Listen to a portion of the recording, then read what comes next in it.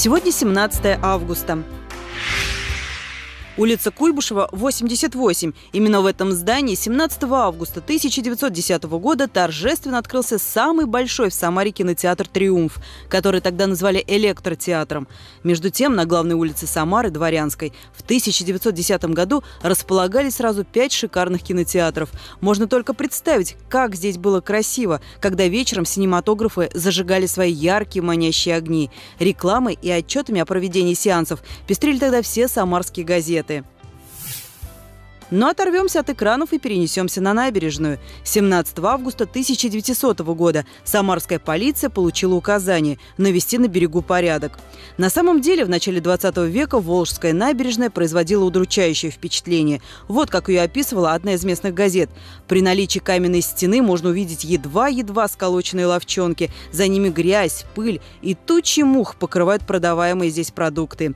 На весь этот беспорядок и обратила внимание городская полиция. Великого русского писателя Льва Николаевича Толстого всегда волновала судьба народа. 17 августа 1873 года он опубликовал в московских новостях письмо к издателям. В нем автор призывал помочь голодающим самарским крестьянам.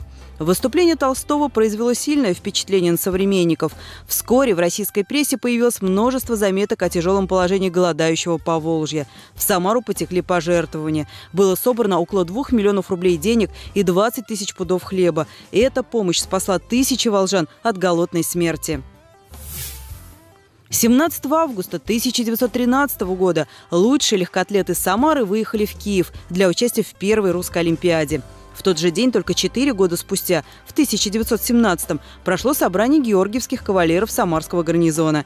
И, наконец, 17 августа 1994 года в губернии появилась своя миграционная служба. В 17-й день последнего месяца лета поздравления с днем рождения принимает Олег Табаков, любимый многими актер и режиссер. Он же Шелленберг из «17 мгновений весны», Людовик III из «Трех мушкетеров» и неподражаемый кот Матроскин. 17 августа родился Николай Добрынин, один из самых востребованных сегодня российских актеров, звезда комедийного сериала «Сваты». Именины у Дениса, Ивана и Евдокии. Какова Евдокия, таков ноябрь, говорили прежде. Продолжим завтра.